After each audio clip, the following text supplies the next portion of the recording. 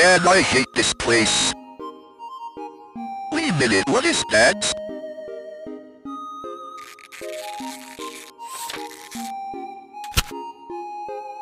Oh, it's a fanfic. Uh, no mind if I read. Chris walks into the house and hinged as ever. Uh, he gives Toach water and eats it somehow. I don't know how that ever gonna happen. After that, Mendo walks in and... Oh. Oh my god. What is this? No. No. Uh, no I can leave this. Mm, This is terrible. This universe is cursed. I can't stay here for a while.